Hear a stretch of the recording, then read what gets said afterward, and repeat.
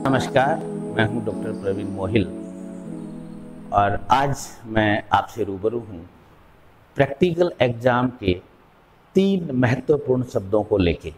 या ये कहें कि ये तीन महत्वपूर्ण शब्द ना हो के तीन भाग हैं जो हर स्टूडेंट उन तीनों पार्ट से रूबरू होता है। जी हाँ हम बात करेंगे आज कि स्पोर्टिंग की व्हाट इज़ स्पॉट दूसरा हम बात करेंगे रिकॉर्ड की रिकॉर्ड या फ़ाइल और तीसरा हम बात करेंगे वाइवा। पहले हम इनको समझेंगे कि ये वास्तव में होते क्या हैं, और फिर हम ये भी जानेंगे कि इनको हैंडल कैसे करना है। सबसे पहले स्पोर्टिंग स्पोर्टिंग एक इम्पोर्टेंट पार्ट होता है। स्पोर्टिंग का मतलब समझो सीधा सा कि डिसीज़न ऑन द स्पॉट यानी कि ऑन स्पॉट आपको डिसीज़न लेना होता है। डिसीज़न लेने का मतलब है कि आपके सामने जो स्पोर्ट रखा हुआ है, उसी के बारे में लिखना होता है। जैसे ये मेरे हाथ में एक बॉक्स है। अगर मान लो ये स्पोर्ट है तो आपको पहली दफे, यानी कि इसी के बारे में लिखना होता है। ठीक है? इसी पे आपको फोकस करना है इधर उधर फोकस नहीं करना। जैसे स्पोर्टिंग की खास बात क्या है कि इसमें सामान्य तौर पे तीन मिनट का समय होता है। और एक्स्ट्रा समय नहीं, यानी कि और अधिक नहीं सोचना। आपको बहुत शॉर्ट टाइम में सोचना है, यानी कि पहला जो विचार आपका आ रहा है, उसी विचार पे आपको ऑब्जर्वेशन डालने हैं, उसको ध्यान से देखना है और उसके बारे में लिखना है। अब स्पोर्टिंग को मेन बातें क्या होती हैं? ये सब्जेक्ट वाइज वेरिएबल हो सकती हैं। मैं चूँकि बॉटनी से हूँ, मैं बॉटनी के रिगार्डिंग बात कर रहा हूँ जोलॉजी में भी कमो बेस ऐसे ही पैटर्न रहता है। आपके दूसरे सब्जेक्ट फिजिक्स में या केमिस्ट्री में वहाँ कुछ डिफरेंट हो सकता है। या हो सकता है कि वहाँ स्पोर्टिंग की जगह कोई और क्वेश्चन आता हो। बट मैं बॉटनी जोलॉजी के लिए आपके लिए उपयोगी है। बॉटनी से बात कर रहा हूँ। स्पोर्टिंग यानी कि टाइम लिमिट होती है इसमें। स्पोर्ट आपके सामने जो भी आज सबसे पहले स्पोर्ट के, जब आप स्पोर्ट में जाते हैं तो आप एक आपके स्पोर्ट का नंबर दिया होता है। सबसे पहले ऊपरी ऊपर आप अपना स्पोर्ट नंबर डालिए। स्पोर्ट नंबर आपका एक, दो, तीन, चार, कुछ भी हो। उसके बाद क्या करना कि ध्यान से देखना मेजोरिटी में स्पोर्ट के तीन चीज़ें आपको, सबसे पहले आपको दिए गए स्पोर्ट का नाम लिखना है। सबसे पहले दूसरा कि उसका डायग्राम ड्रॉ करना है कि वो स्पोर्ट एक्चुअल में किस चीज़ को शो कर रहा है, किस, क्या चीज़ उसके अंदर इंपोर्टेंट है। एग्जामिनर आपसे क्या चीज़ पूछना चाह रहा है, उसका डायग्राम ध्यान रखें डायग्राम को बहुत अधिक सुंदर करने की ज़रूरत है। डायग्राम में उसको दिख जाए कि जैसे आप मान लो दिखाना चाह रहे हैं फ्लैजिला तो फ्लैजिला ही नज़र आए। तो बहुत सिंपल सा छोटा सा डायग्राम उसके बाद में उसके कैरेक्टर क्या आपने उसको कैसे पहचाना। यानी कि उसके अंदर कौन कौन से इंपॉर्टेंट कैरेक्टर हैं। यानी कि तीन चीज़ों से आपका स्पोर्ट बन जाता है। ये बॉटनी के केस में 90 परसेंट ये केस इस तरह से अगर ये स्पोर्टिंग मान लो इकोनॉमिक बॉटनी की होती है इकोनॉमिक बॉटनी की तो इकोनॉमिक बॉटनी में कुछ चीज़ें यहाँ पे ऐड होती हैं। यो इसी जगह हो जाएँगी। जैसे बॉटनिकल नेम हो जाएगा और फैमिली हो जाएगी। यानी कि ये आपका किस फैमिली का है? और उसके बाद में ओरिजिन और उसके बाद पार्ट यूज़ ये चीज़ आ जाएगी कहाँ पे? नेम की जगह। ये चार चीज़ें जुड़ जाती हैं यहाँ पे। और डायग्राम बनेगा ही बनेगा। और इसकी जगह यहाँ पे क्या आ जाएँगे? उसके इकोनॉमिक यूजेज आ जाएँगे। अगर स्पोर्ट इकोनॉमिक बॉटनी का है तो अगर इकोनॉमिक बॉटनी का नहीं है तो ये इसी पैटर्न पे आपको काम करना है। इसके बाद अब क्या करना है? आपको ध्यान क्या रखना है? स्पोर्टिंग में मोस्ट इंपॉर्टेंट चीज़ है। बिलीव ऑन सेल्फ आप अपने पे भरोसा रखिए। आपके माइंड पे भरोसा रखिए। आपने तैयारी की है। हो सकता है आज एग्ज़ाम है, कल आप पढ़ नहीं तैयारी कर पाए कोई कारण से। बट आपने तैयारी तो की है। आपने कितने सारे एग्ज़ाम पास करके आपको नॉलेज तो है।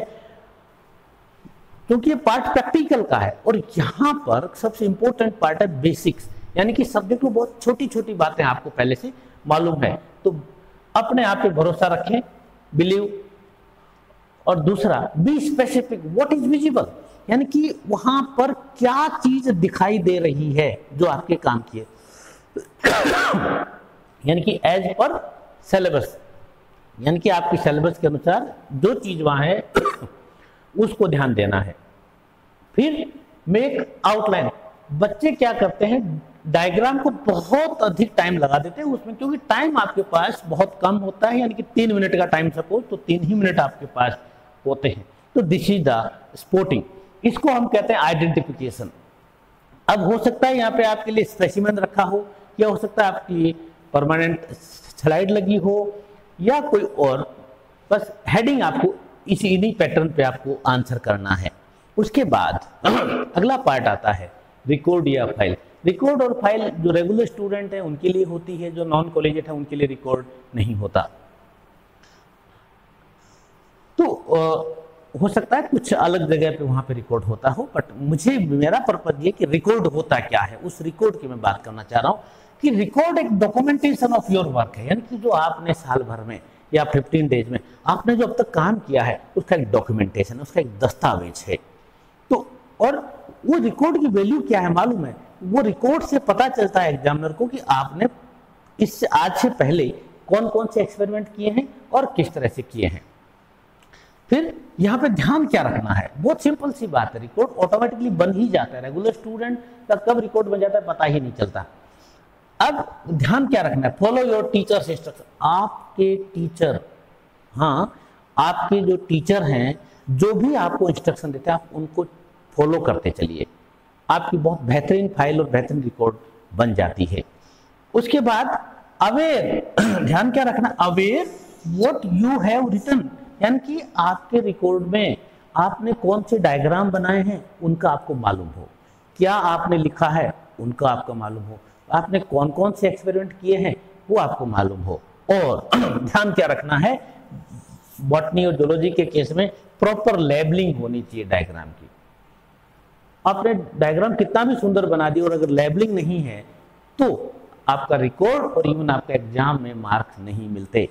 तो आपको प्रॉपर लेबलिंग की नामांकित चित्र होना चाहिए, यानी कि नामांकन पूरा होना चाहिए ताकि समझ आ सके और सिग्नेचर आप अपने टीचर से अपने रूटीन के अकॉर्डिंग सिग्नेचर भी करवाते रहें।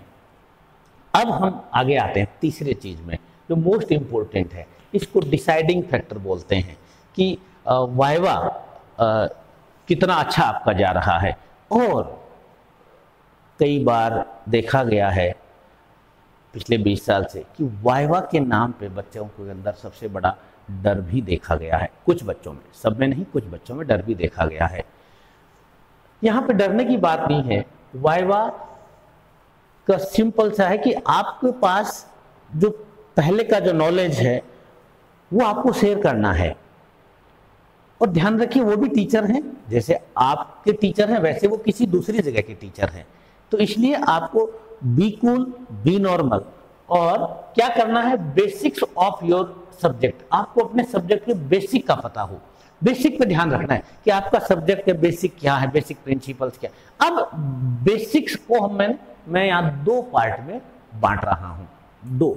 एक वो है जिसमें आर्टिकल्स आते हैं, जैसे आपका स्लाइड्स हो गया, पेट्री प्लेट हो गया, वॉच ग्लास हो गया कव स्लिप हो गया, ये सब चीज़ें। इनका आपको पता होना चाहिए कि ये वॉच ग्लास है, ये पेट्री डिश है।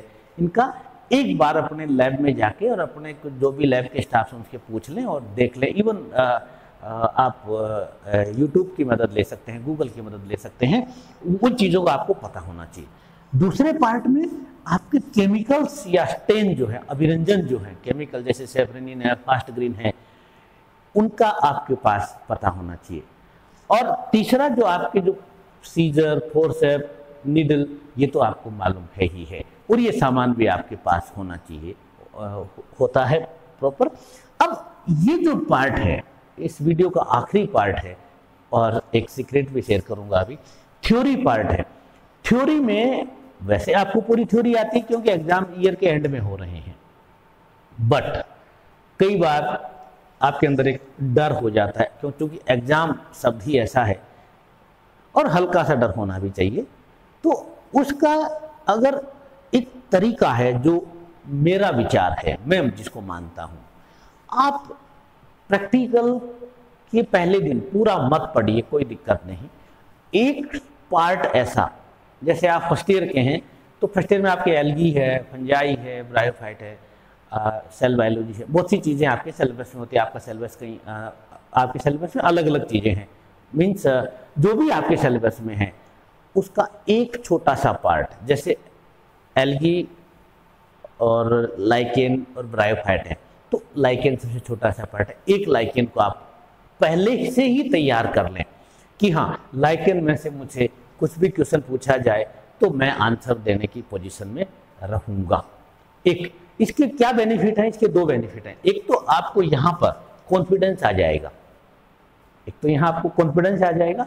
दूसरा बेनिफिट है कि जब आप एग्ज़ाम दोगे थ्योरी एग्ज़ाम दोगे तो आपको उस पेपर के उस पार्ट को बहुत अधिक मेहनत करने की ज़रूरत नहीं, क्योंकि वो आपके पहले ही तैयार हो चुका होता है।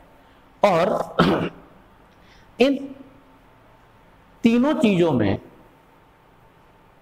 एक ही ध्यान रखें कि आप को नॉलेज है, पहले से नॉलेज है। आपको बस इन सब चीज़ों को थ्योरी पार्ट से जोड़ते हुए रखें।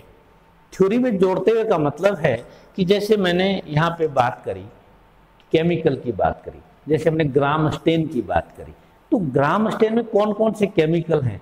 तो ये पार्ट आपके ग्राम स्टेनिंग मेथड थ्योरी में है, वहाँ भी काम आता है। यानी कि प्रैक्टिकल और थ्योरी को जोड़ते हुए रखें, यानी चाहे आप प्रैक्टिकल से से टॉपिक उठाएँ और वहाँ जाके पढ़ लें थ्योरी की बुक में, या फिर थ्योरी में से उठाएँ और प्रैक्टिकल की बुक में पढ़ लें। तो ये जो शॉर्टकट जो है सबसे इंपॉर्टेंट पार्ट है कि आप एक टॉपिक अच्छा सा तैयार कर लें।